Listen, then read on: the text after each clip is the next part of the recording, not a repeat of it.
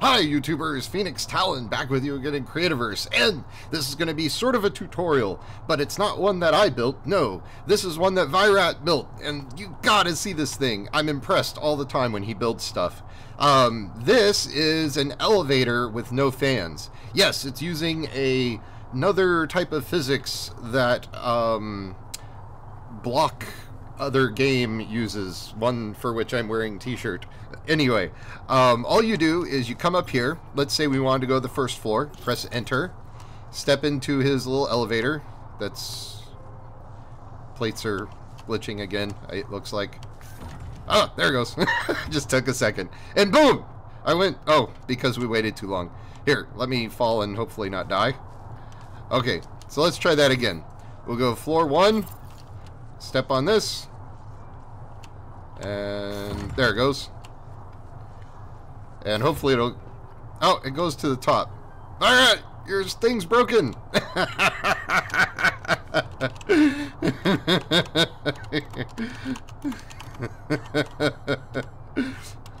Broke. Here, somebody else try it. um, alright, so he's gonna go in. There it goes. Boom, all the way to the top. but you saw that. You saw how he went all the way up to the top of the elevator with no fans. Okay? So, boom, there you go. Is that awesome or what? He had it set up just a second ago where you could go up to the individual doors. We were playing around with it. He might have actually been showing them something. Here, let me see if 2 will work. Alright, let's see. Um, yeah, there we go. I think it's because the plate has the... There it goes. See, look. There you go. Second floor. it does work. so anyway, um, the way that he built this, and this is this is the tutorial. I mean, this is all it is.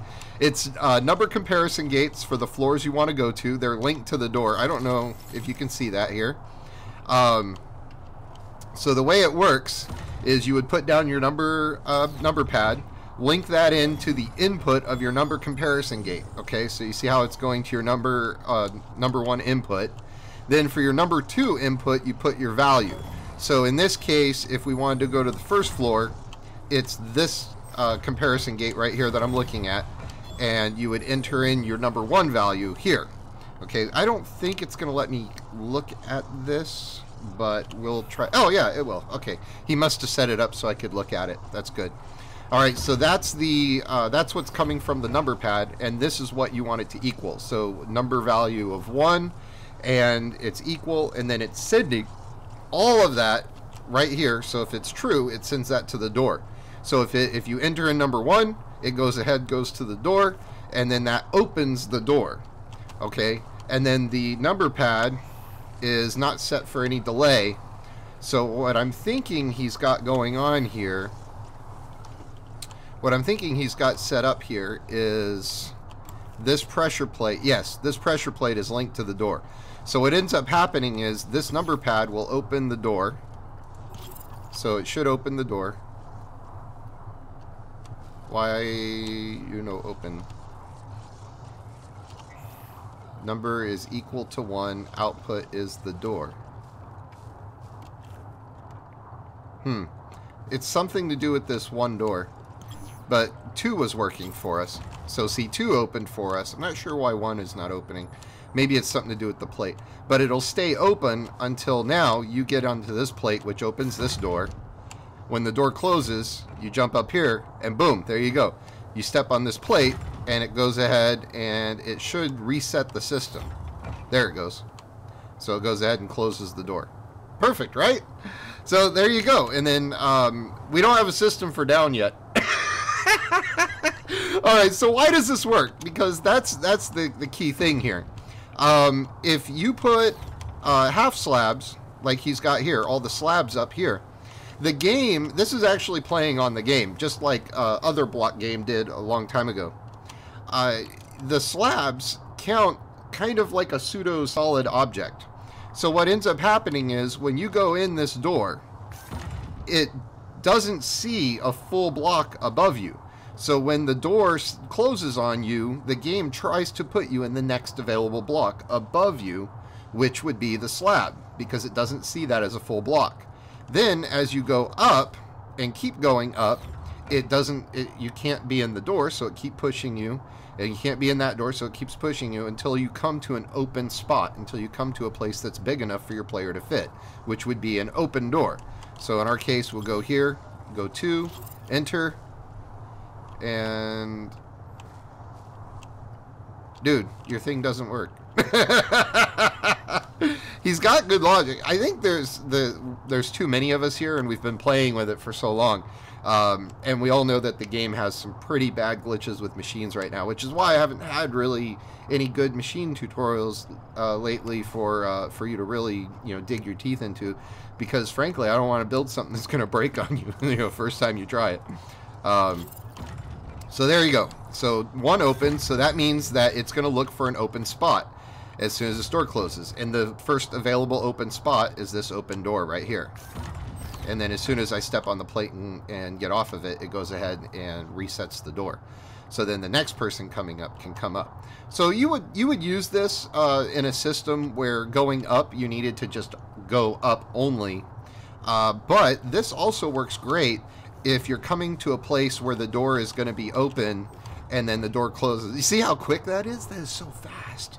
That is so fast, and it's nearly instant. It really is nearly instant. So um, so yeah, so there you go. Um, I can't believe that, that he's got something so easy and so simple. And uh, like I said, he said I could go ahead and record this for him, and and here he is, right here, the man. Here, go. Uh, here, I, I, I want to get a picture of him in there. I want a picture of you there.